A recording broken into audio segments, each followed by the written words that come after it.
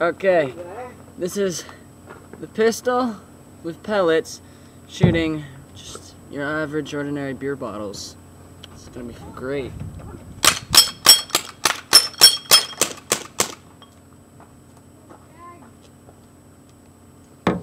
Doesn't do much, but it's always fun. Not really. It's better than nothing.